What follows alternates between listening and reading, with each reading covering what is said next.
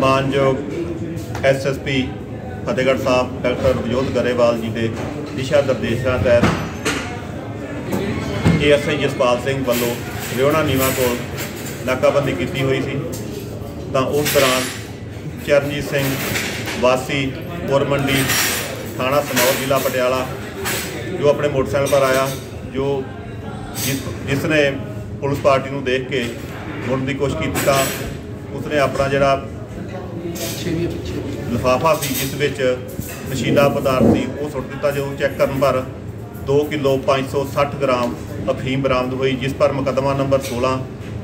under section 186185 NDPS act ਮਿਤੀ 16/2/2023 ਨੂੰ PS Mulepur ਦਰਜ ਕਰਕੇ ਅਗਲੀ ਕਾਰਵਾਈ ਅਮਲ ਵਿੱਚ ਲਿਆਂਦੀ ਜਾ ਰਹੀ ਹੈ ਅਤੇ ਦੋਸ਼ੀ ਦਾ ਰਿਮਾਂਡ ਲੈ ਕੇ